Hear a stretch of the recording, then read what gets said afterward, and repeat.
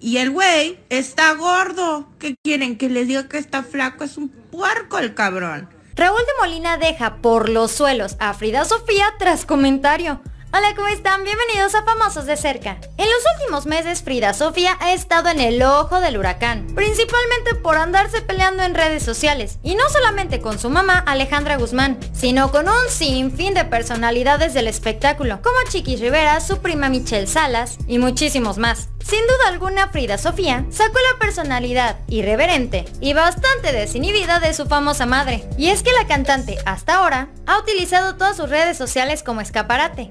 Literalmente dice todo lo que piensa, lo que le gusta y lo que no le gusta de toda la gente, incluso de su propia familia. Esto le ha valido miles y miles de comentarios, algunos a favor y otros más en contra. La nueva víctima de Frida Sofía tiene nombre y apellido, y hasta apodo, y es Raúl el Gordo de Molina. Pues a raíz del reto de TikTok que subió el presentador del Gordo y la Flaca, esto ha provocado un sinfín de críticas, y una de ellas fue la de Frida Sofía. Y es que en redes sociales Frida escribió, y dicen que hacen lo que sea por publicidad, Casi vomito. A raíz de estas fuertes declaraciones, la cantante también fue víctima de bastantes críticas y muchos insultos, y obviamente no se quedó callada. Y subió en sus redes sociales un mensaje para los haters que la criticaron por exhibir su punto de vista. En primera, si no sabes de este challenge del que estoy hablando, se trata del Quarantine Pillow Challenge, en la que las personas se toman una fotografía poniéndose una almohada y un cinturón. Esto como si fuera un outfit de este aislamiento. Como ya se habrán imaginado, y como yo creo que ya vieron en las redes sociales, el gordo hizo este challenge y fue bastante divertido, pero al parecer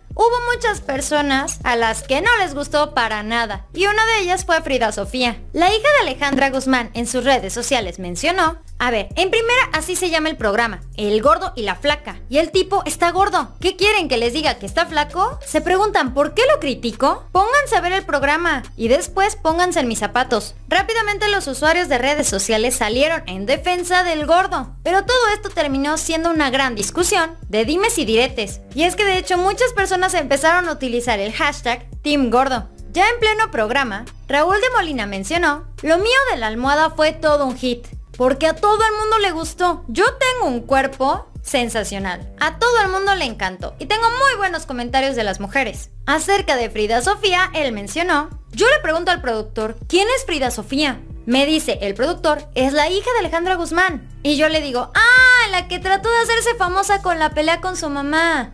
Que si me preguntan, oye, si te estás dando cuenta que está hablando mal de ti, yo ni me había dado cuenta. Y es que también Frida Sofía mencionó que al parecer él lo hizo por publicidad. A lo que el gordo respondió, a ver, que yo lo hice por publicidad. Yo hago un programa de televisión. Me pagan por hacer un programa de televisión. A ella no le pagan por hacer nada, porque no hace nada.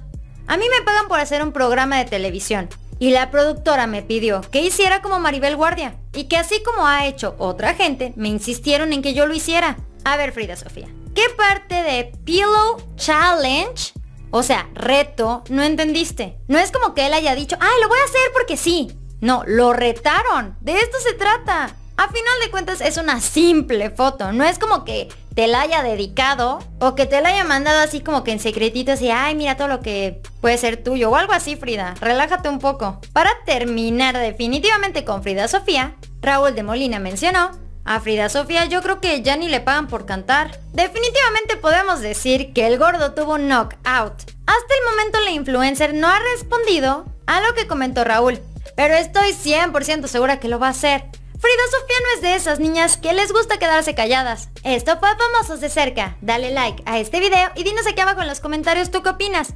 ¿Crees que estuvo bien que Frida Sofía haya contestado de esa manera? ¿Y crees que Raúl de Molina estuvo bien en haberle contestado en plena emisión de programa? No olvides darle me gusta a todas nuestras redes sociales. Recuerda que estamos subiendo videos todos los días para mantenerte siempre bien informado y bien entretenido en estos días. Son bastante difíciles para todos ya que tenemos que estar encerraditos en nuestras casas. Pero no te preocupes, todo esto va a pasar y vamos a salir adelante. Nos vemos muy pronto. Bye.